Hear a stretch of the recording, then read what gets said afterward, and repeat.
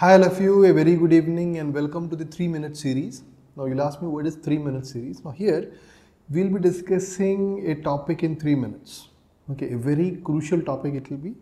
It will be probably a very confusing topic, very crucial, very important and the discussion will be a little quick so that anytime you can come back and review it very quickly. So the key points will be discussed unlike our other lectures which are very detailed this one will be a quick review kind of thing okay so without any wastage of time let me start. So today we'll be discussing orthodontics key ridge. Okay so basically what it says is it's the lowest point on the outline of zygoma. So this green bone you can see there that is the zygoma. Okay and the lowest point on the outline of zygoma. And it corresponds to the first molar. So this is the point. Okay, this is the this is the point you can see there which is called as the key ridge. Okay, now a few more things to know here. As I've told you, it corresponds to what? In deciduous dentition, it corresponds to the maxillary second molar and in permanent dentition, it corresponds to mesiobuccal root, you know. So it's slightly anterior than, we, than what we saw. Uh, no anatomical variations you can call it. Basically what they say is this key ridge is on the zygomatic buttress. There is something known as zygomatic buttress in zygoma. So that was a question, key ridge is located where?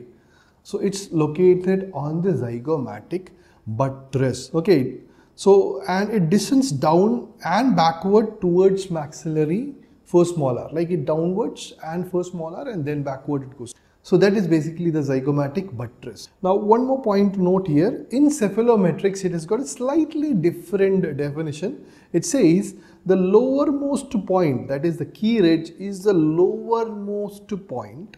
Please understand. So again inferior most lowermost on the contour of the anterior wall. I'll show you the picture out there of the infratemporal fossa. So if you come to the same image once again so this is basically the temporal bone. So below that you have got the, so in this area behind this green one, if you just remove that zygomatic arch, here you will be having in this region you will have the infratemporal fossa.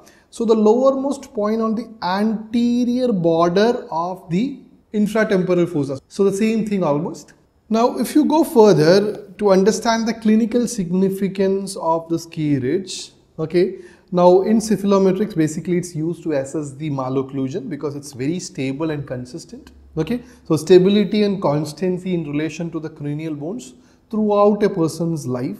So this is used uh, a re very reliable point in cephalometrics and therefore it's used to assess the malocclusion, key ridge. Okay, and that was a question which was based on. Also in case of class 2 treatment, basically this key ridge where this is the place where you place bone anchors like mini implants out there. No, so that you can apply the force for the class 2 treatment and push the molar backward. So the maxilla is forward in class 2. So or the maxillary teeth are forward. So if you want to push it back, you need an anchor. You place the anchor in this particular zone and use the force backward okay? So that is what and use a nickel titanium spring generate force to push it backward so that's the treatment part of it. And please note examples of bone anchors one i told you already which is mini implant second is tad okay? So as many number of points in three minutes. Okay?